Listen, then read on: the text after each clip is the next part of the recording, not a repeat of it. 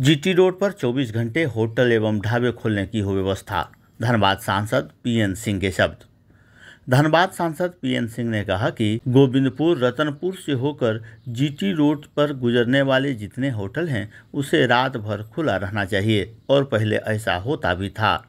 परंतु कोरोना काल के बाद से इसमें परिवर्तन कर दिया गया है। रात 11 बजे के बाद होटल बंद कर दिया जाता है। उन्होंने अफसोस जताते हुए कहा कि जब वो कहीं से लौट रहे थे, उन्होंने सोचा कि रतनपुर में खाना खा लें, परंतु होटल मालिक ने अपनी व्यथा बताई।